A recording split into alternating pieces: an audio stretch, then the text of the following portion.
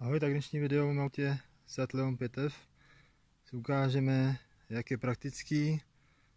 K autu mám zahrádku a nosič na kolo, ale to mám teď jinde s jiným kolem, takže si naložím auto do kufru, tak se koukneme, jak se tam vejde.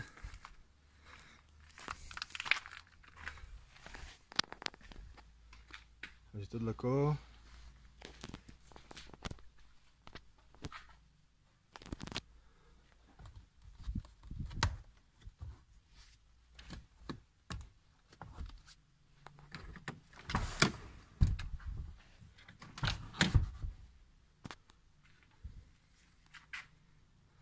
Dlouhý je to dost. Tak stačí jen odmontovat teda přední kolo a je tam místa opravdu hodně. Takže není problém. Ještě tady je spoustu prostoru.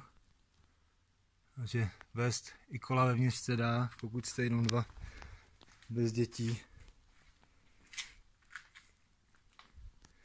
Ještě tam dám teda kolo. Tak tady dám kolo pěkně. Je to zapřený. Super.